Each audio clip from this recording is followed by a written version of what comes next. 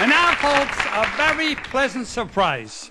Back for a guest appearance, a former member of our musical family and one of the all-time favorites on our show, that ragtime piano gal, Jo-Ann Castle.